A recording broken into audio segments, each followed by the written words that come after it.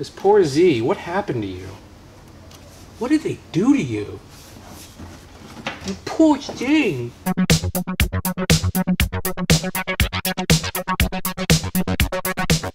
What's up, guys? Welcome back. I got the car registered and I want to put the plate on and we can drive it today.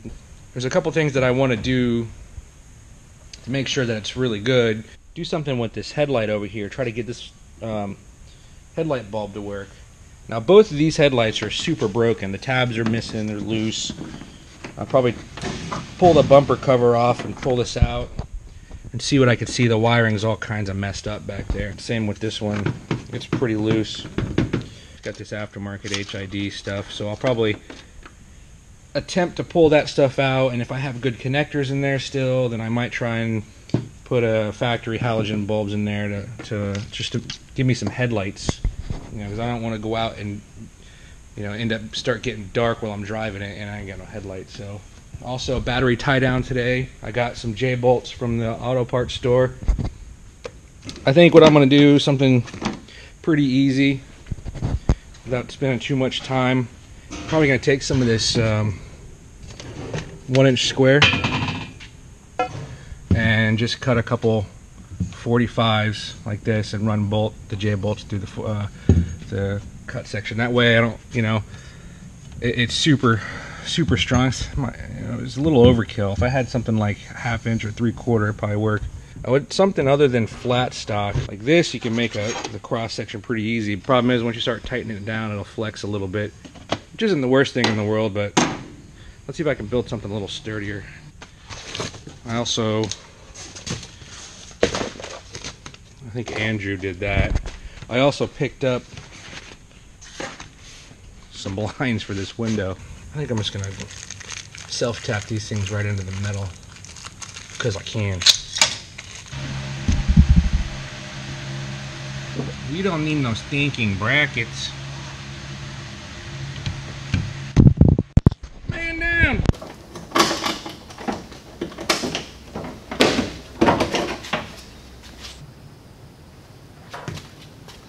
Really high up there. So I mean I need I need to take my J bolt. It needs to be about that long if I want to use it.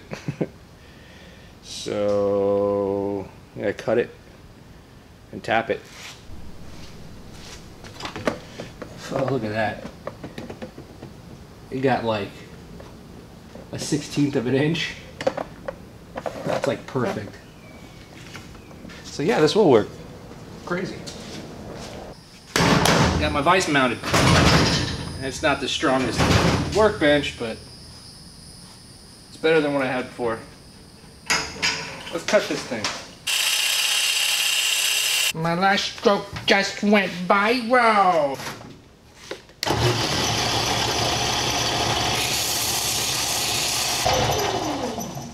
Nice and clean. These are all metric. M6 by 1. Well, after looking through my crappy Harbor Freight tap and die set, I don't have the right size. This is uh, M6 by 125. I don't have that thread pitch. So what I think I'm going to do is I'm going to get creative. And I'm going to cut this one down a little bit more. And just go ahead and weld my threads right on there since I have a welder.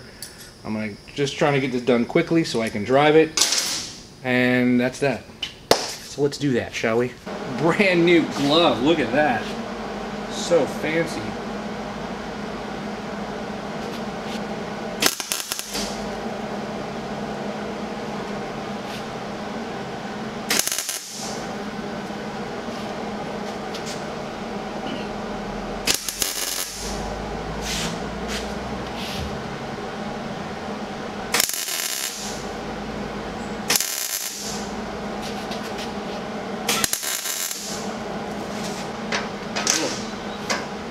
Little bent. I'm gonna try and straighten it a little bit. I gotta have it pull off where I can touch it. I don't want to clamp down on these threads, so I'll probably just leave that. Clean it up a little bit. That will work for now.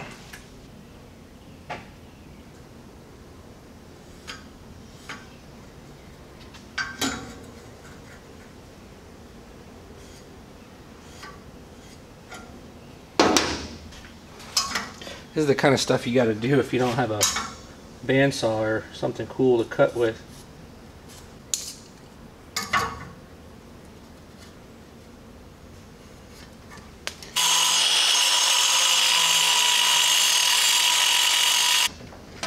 It's been a lot easier with a horizontal bandsaw.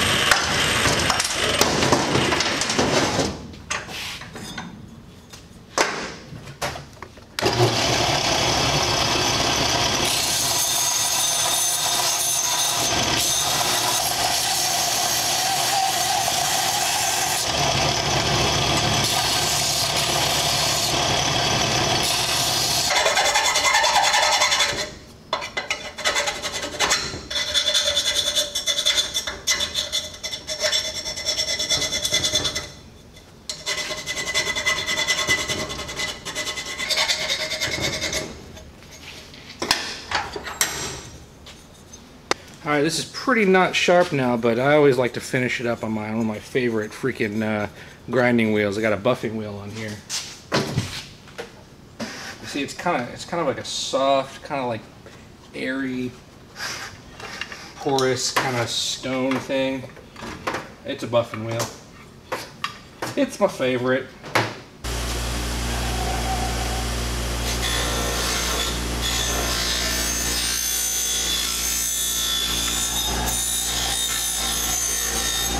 Just gives everything that super smooth, nice edge. I love that wheel. I love it. Makes a mess, but I like it. I gotta pop some holes in this for my bolts.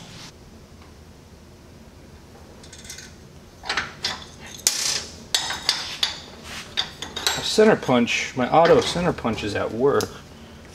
I gotta get another one of those.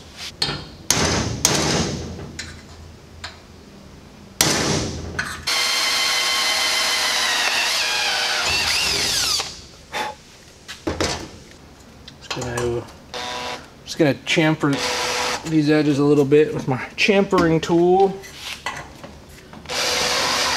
Sharp edges off. There we go. Battery tie down. Simple, no welding. Simple tools around the shop. Went ahead and threw a little bit of black paint on there.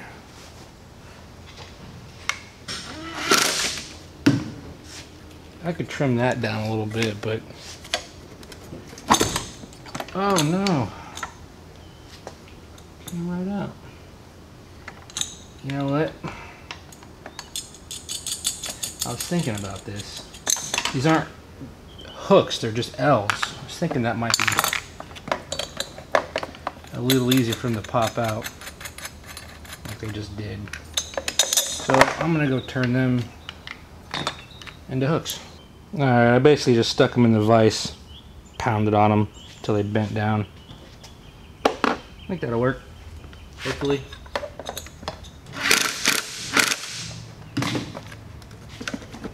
There we go. Much better. Tied down battery.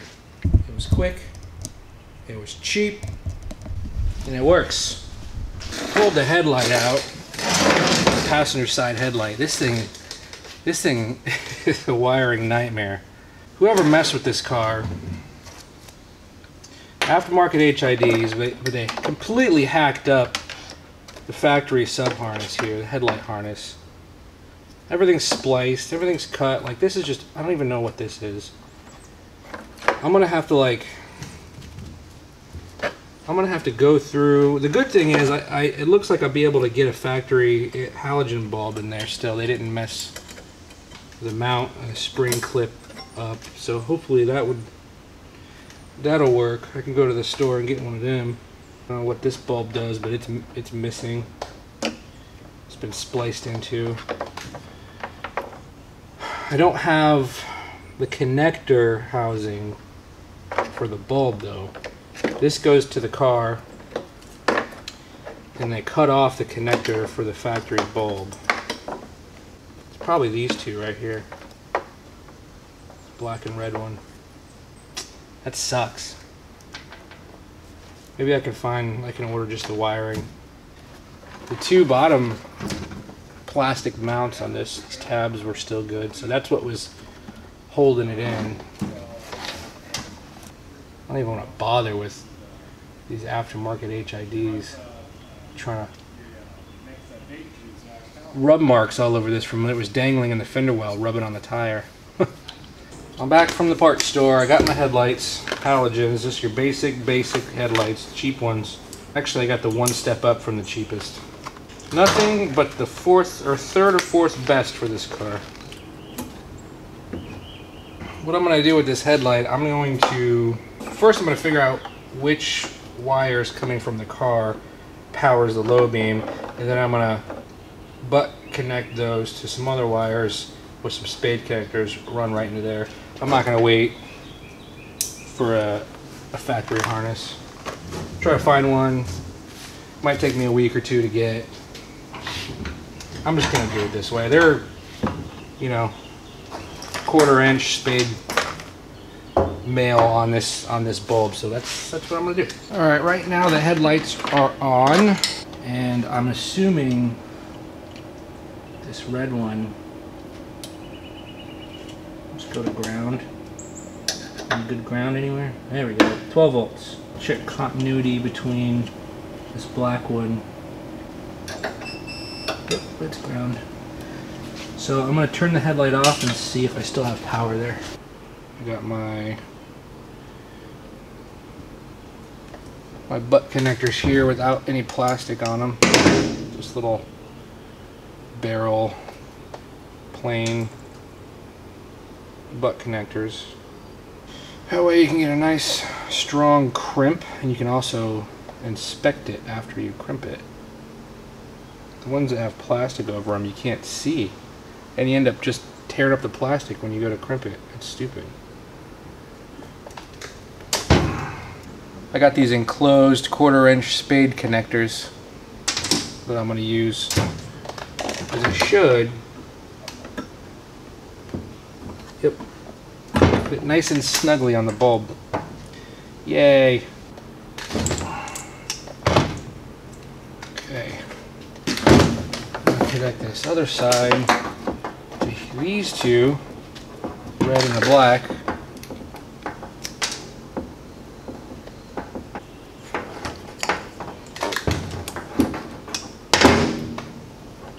Always test them after you do a pull on it a little bit. Make sure it doesn't come right apart.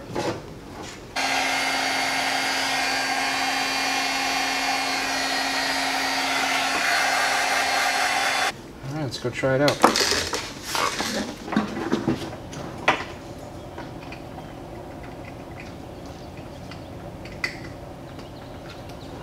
Yay. Headlight. Look at the difference between the two. Should I run two different color headlights for a little bit? That'd be kind of funny. Yellow and blue. anyway, that's it for me tonight. Thanks for watching. Maybe I'll be back tomorrow to work on it. We'll see.